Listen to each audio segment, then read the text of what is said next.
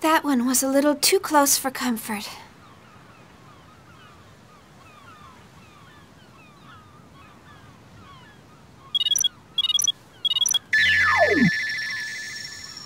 Are you alright, Shion? Whoa, you look pretty sexy. Miyuki, you're starting to sound like a dirty old man.